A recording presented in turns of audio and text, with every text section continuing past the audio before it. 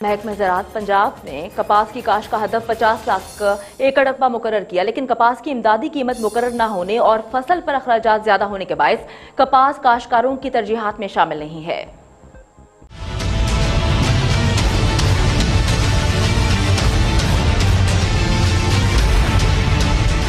काशकार तंजीमों के मुतालबे के बावजूद हुकूमत कपास की फ़ी वन इमदादी कीमत चार हज़ार दो सौ चौबीस रूपए मुकर करने को तैयार नहीं, जिसकी वजह से गुजशत साल से पचासी लाख बेल्स हुई। तहाँ मौजूदा सूरत हाल में महकमे ज़रात के लिए पंजाब में इकतीस मई तक पचास लाख एकड़ रकबे पर कपास की काश का हदफ पूरा करना भी इंतहाई मुश्किल हो गया है और इसीलिए काशकार तंजीमों ने फ़सल की बेहतर पैदावार के लिए बजट में बिजली की तीस यूनिट कीमत चार रूपए करने के साथ कपास की इमदादी कीमत मुकर करने का भी मुतालबा कर दिया है। पूरी दुनिया प्राइस देती है पाकिस्तान में क्यों ना हो? जब पाकिस्तानी काश्तकार के कॉस्ट ऑफ़ प्रोडक्शन ज़्यादा हो, उसको इनकम कम हो, अगले साल वो कपास नहीं लगाएगा।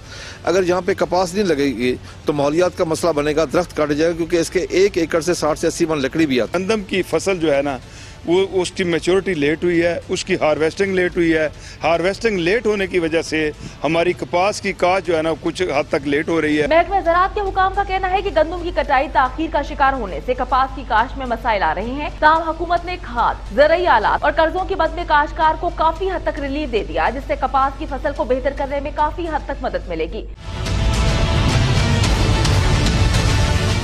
टिड्डी दल से भी कपास की फ़सल को नुकसान पहुँचने का अंदेशा है और प्लांट प्रोटेक्शन डिपार्टमेंट के पास वसाइल न होने पर हुकूमत ने सब्जाखोर कीड़े को कंट्रोल करने की ज़िम्मेदारी नेशनल डिजास्टर मैनेजमेंट के सुपुर्द कर दी, लेकिन इसके बावजूद काश्तकार सूरत हाल से मुतमिन नहीं है।